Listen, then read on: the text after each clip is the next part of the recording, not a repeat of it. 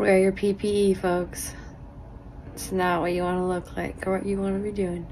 Five days ago, I had a scary accident while working on the cabin. This is a chemical burn on my eye. A chemical burn is damaged tissue caused by hazardous substances such as gasoline, paint, paint thinner, strong acids, and even minor chemicals which can cause minor chemical burns. Luckily for me right now, I can see this lens with both of my eyes. I am so grateful for that.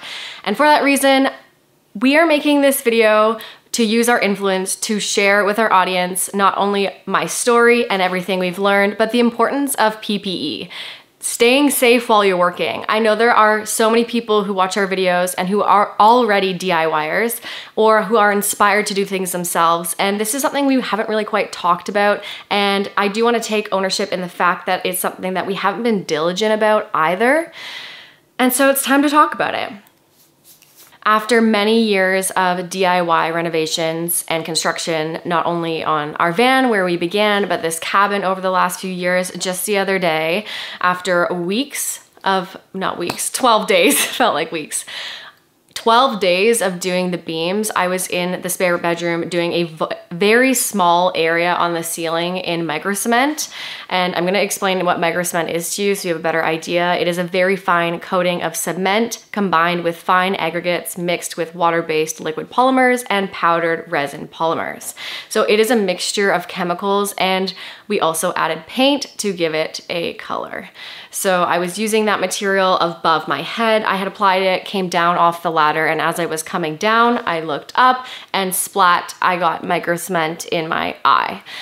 I was shrieking screaming. Like it was more of a shriek. I was absolutely terrified because as soon as it hit my eye it immediately started burning.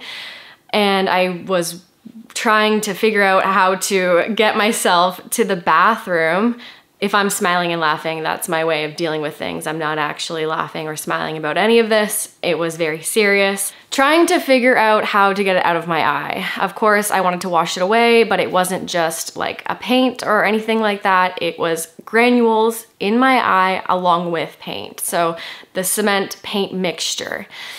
And Jasmine was helping me at that point to try and get it out as much as we could. And I was splashing my eye. We were able to rinse it um, and the burning sensation started to dull.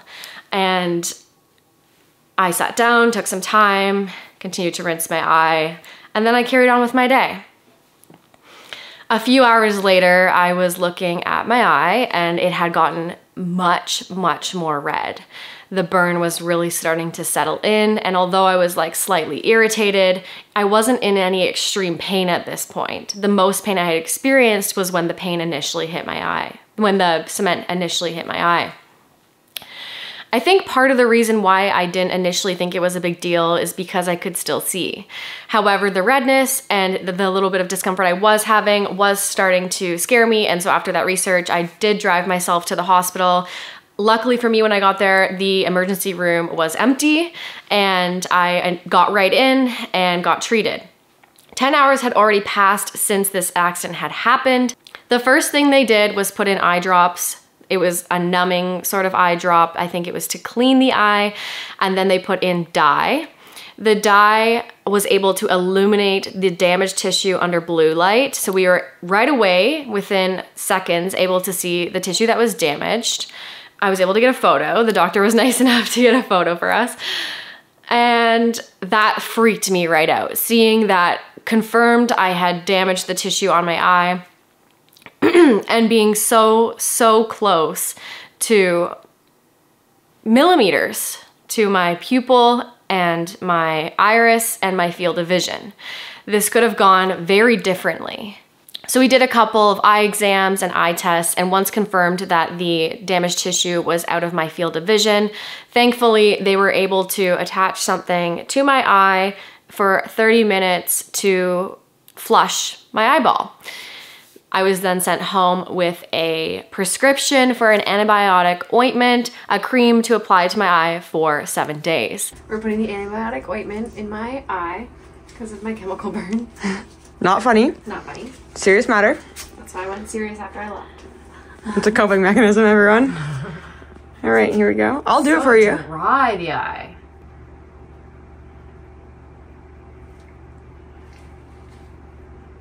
Nice.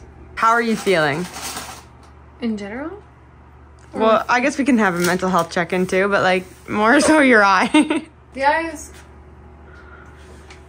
the eye's healing. Like it's uncomfortable. It's feels very strange. Like it feels like a bruise, but or like you know, it's not it's not pain. It's just like it feels like if you've bruised your arm, but on the eye. It's what how I'm describing it, or like scratched it. The ointment is weird because it sometimes gets kind of sticky, and then that feels weird. Putting lotion on your eye is kind of weird, but it's fine sometimes. You're seeing my eye five days later and it is healing pretty well. Thankfully, I'm so grateful that it went this way. I can't imagine had it gone differently what I would be saying to you right now.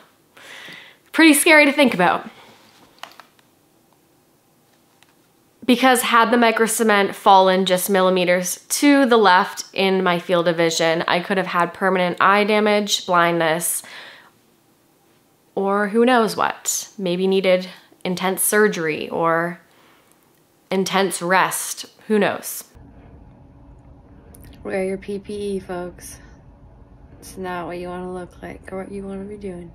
Over the years, I would say we've used our PPE, personal protective equipment, things such as gloves, glasses, hard hats, anything to protect yourself from the potential hazard. Very, what? Or roofing harness. Very sporadically, I think there were times it was more important and then there'd be times we'd fall off. And what I want to do by making this video is to not only hold us accountable by telling all of you, um, is to make sure that it's consistent and we do the best we can to learn how to wear the PPE properly, make sure it fits, and we're doing things as safely as we can. We've noticed over the years in the comments a lot of people exp expressing their concern, and I appreciate that so much. Um, I've even just been looking at the comments recently, noticing um, them coming in a lot more over the last few weeks through our loft and beam renovation. So as time goes on, we are gonna do our best to stay safe and show you how we're doing that. If you have any tips yourselves, what you do, if you've ever had an experience like this, feel free to share it in the comments. I think the more we talk about it, acknowledge it, and share our experiences, the more importance it will gather. I know some people choose not to wear it at all. Some people are always wearing their PPE and then there's us in the middle with the sporadicness. Regardless, I think there's a lot of reasons why people choose not to wear it. It can be hot, it can be uncomfortable, it can be heavy.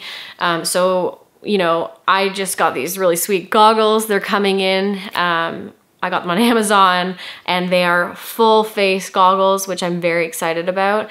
Um, obviously for different applications, you would use them. Like if I was sanding, it's probably really great to have your eyes entirely covered, right? There's nowhere that dust can get in. Same with a respirator. I've always worn these little masks. I think a respirator would be really great for sanding because it's such fine particles. Anyways, I think the more I I think the more we dive into it and we learn what works for us, what's the most comfortable, we'll share that with you eventually. I know it's also as simple as tying your hair back, not wearing loose clothing, not wearing jewelry, um, having a first aid kit on hand. Thank you all for encouraging us to be safer. I hope that we can encourage everyone else out there who may slack like us to work safer. Pick it up, put it on, and stay safe. I just truly don't think it's worth it. I feel an immense amount of gratefulness to be able to talk to you about this and be able to see out of both of my eyes clearly. I feel healthy and